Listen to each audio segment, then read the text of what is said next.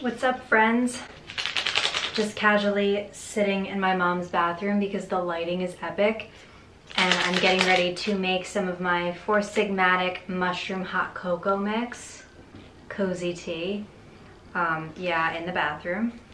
I wanted to pop on and do a quick video talking about my five tips to succeeding on social media.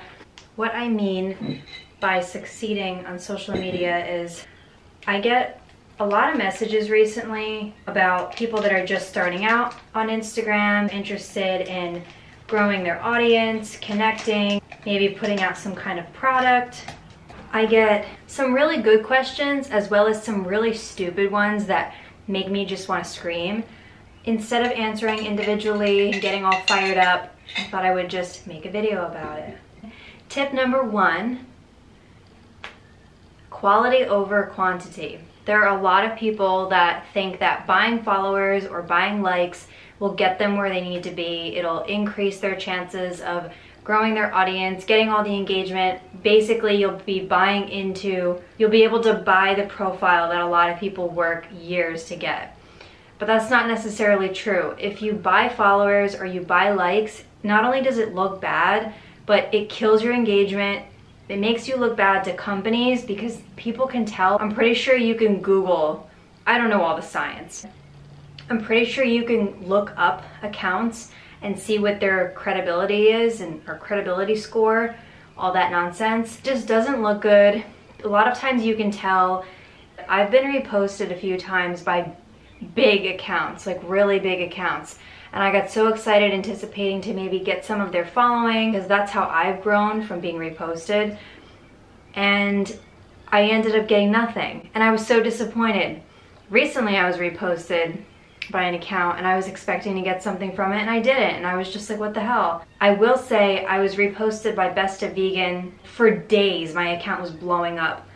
Most I've ever gotten though was when I first started out four years ago, I got reposted by The Good Quote, which has millions of followers, and I got over 5,000 people. Like, I could not even go on my Instagram. That's how poppin' it was.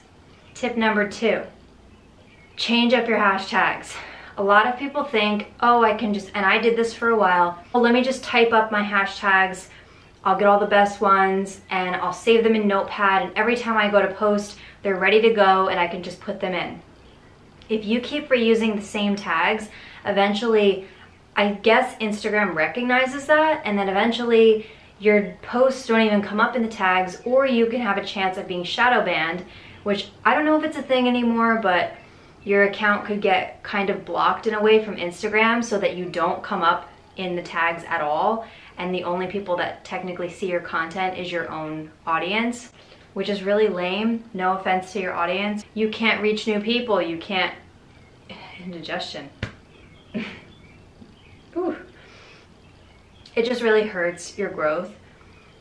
And yeah, I can say recently, for example, I have been changing my tags on every single post and I keep my tags related to not just the post, but what my page is in general. And this brings me to tip number three, which is keep your tags under 500,000. If you use the really big tags, the ones like that are very general, vegan, health, love, those have millions and millions and millions of people looking at them. Your stuff will just get buried. Nobody will ever see it. Whereas if you use a tag that's lower, and I don't think you should go lower than like 10,000, if you work between 10,000 and like 300 to 500,000, you have more of a chance of getting genuine interaction from real people that are actively searching through tags like what I used to do.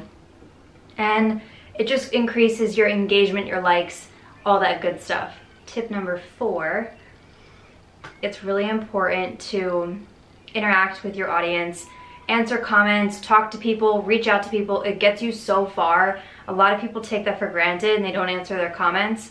Let me tell you, not only do you connect with people, and you should want to, but it just, it helps because if you interact with them, they interact with you and you get this whole like conversation going and you meet a lot of cool people. And last but not least, because my camera's gonna die, tip number five, be consistent. Post at the same time every day. For everybody that's gonna be different, I always keep my window between 3 and 4 o'clock so that I hit the West Coast and the East Coast. If you stay consistent, then your following will look forward to what you're posting and then it'll all be great and magical and all that good stuff.